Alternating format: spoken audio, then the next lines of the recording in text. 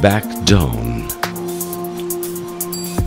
Stand back in front of a chair. Now place your both hands on the chair and stretch your legs in front. Body will be balanced on hands and heels. Now move your hip up and down without touching the ground.